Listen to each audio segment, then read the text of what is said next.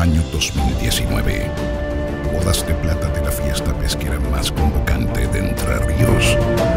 Más de 1.500.000 pesos en premios. Sorteos de trackers con riders.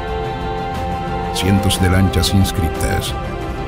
15 y 16 de marzo. Fiesta Provincial del Surubí Entrerriano en La Paz. Inscríbete